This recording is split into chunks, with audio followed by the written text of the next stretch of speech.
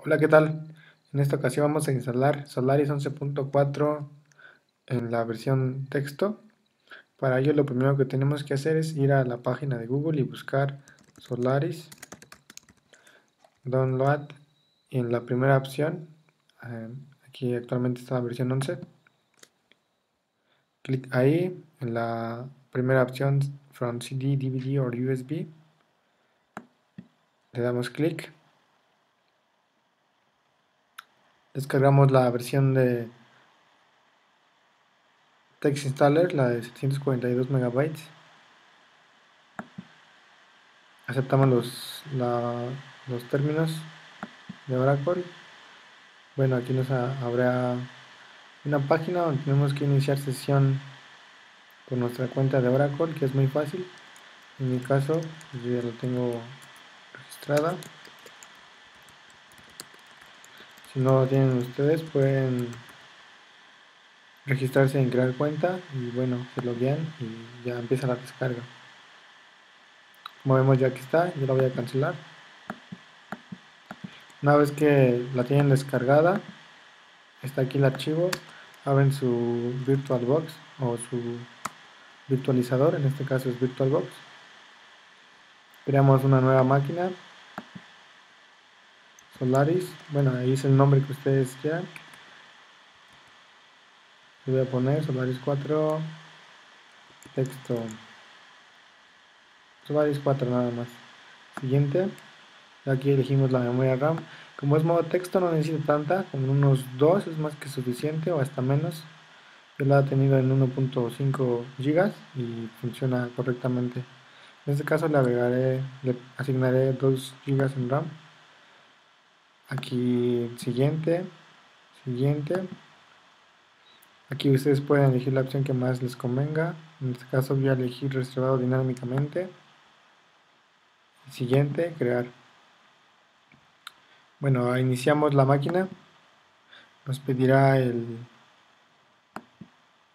el, el archivo. Añadimos nos vamos a nuestras descargas a la carpeta de descargas y aquí está Solaris 11.4 en la en, modo texto. Escogemos ese disco y start.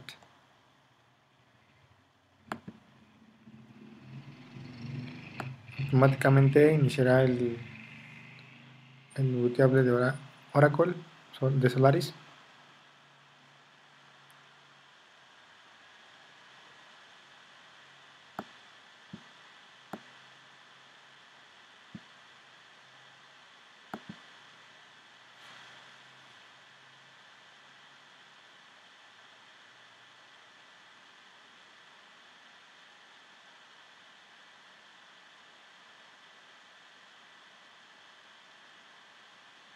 Aquí esperamos.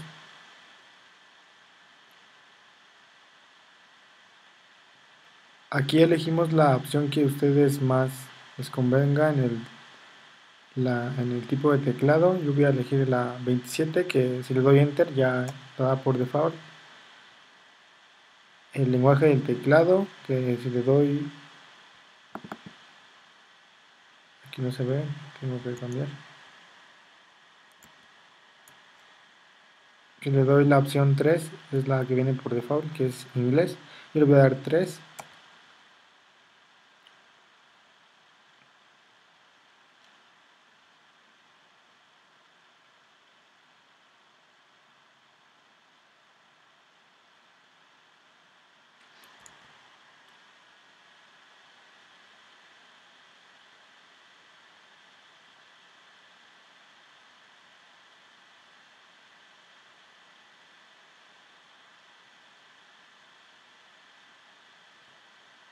Ingresamos la opción 1 de instalar. Aquí a veces aparece ese mensaje que, que nos da lo de update CPU pero no, no le hagamos caso. Esperemos a que nos muestre la bueno aquí ya creo que le podemos dar 1 y enter.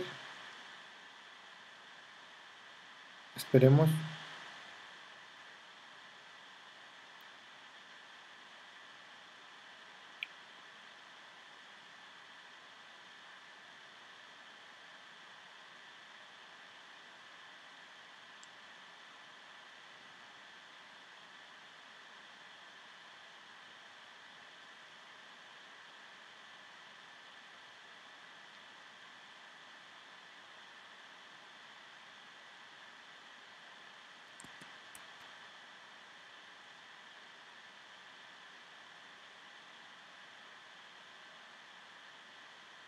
Y aquí nos da la nos sale esta interfaz donde tenemos que dar F2 para continuar. Elegimos local disk. Le asignamos toda, en mi caso todo el, espacio del disco que le había asignado previamente desde VirtualBox. A usar la parte entera del disco. Aquí ponemos el nombre de, nuestro, de nuestra computadora. Yo lo voy a poner como este va a ser el servidor en los siguientes tutoriales, voy a poner server y F2 para continuar. Ahí en la anterior pantalla me decía el tipo de, configuración de, red de HCP o estática me parece. Le dan eh, de HCP y aquí le dan net 0. Ah bueno, esa es la que yo les decía anteriormente, pero bueno, aquí es de HCP la región que ustedes quieran. Yo le doy siempre aquí siguiente la opción del, del, lenguaje del sistema operativo yo siempre doy inglés. Y aquí igual Estados Unidos la última el año bueno aquí le doy siempre siguiente luego se puede configurar desde desde el consola todo esto inglés F2 aquí ponemos nosotros la contraseña de, del root. Confirmamos. Eh, ponemos el nombre de nuestro usuario que esto es opcional pero yo se los recomiendo. En mi caso voy a poner servidor server server y confirmamos e ingresamos la contraseña y la confirmamos Aquí no es necesario poner un correo de verdad, F2, y empezar la instalación.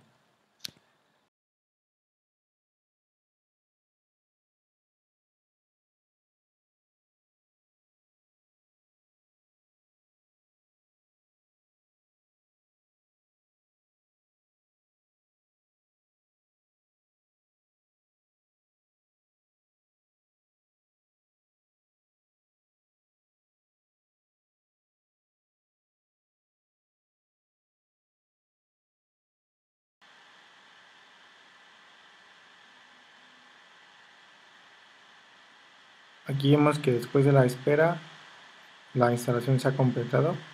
Lo único que tenemos que hacer es presionar F8 para reiniciar la máquina o F9. Yo voy a darle F9. Y aquí también este, les recomiendo que de una vez en dispositivos o en device remuevan el disco del Virtual Drive lo que hará es eh, eliminar el archivo que habíamos seleccionado este archivo para que así ya no nos eh, vuelva a lanzar el booteable apagamos la máquina. Regresamos a nuestro VirtualBox iniciamos la máquina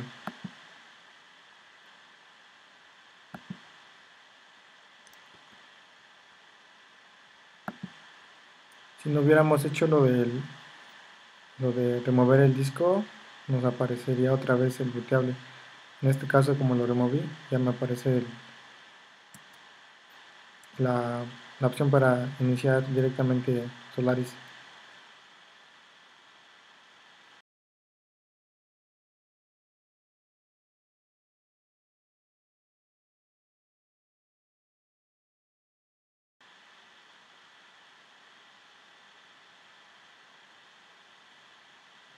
Después de que haya cargado todo el sistema operativo, procedemos a iniciar sesión con nuestro usuario.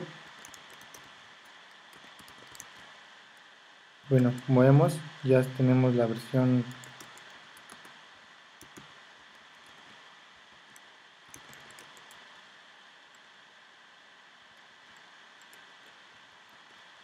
la versión 11.4 instalada.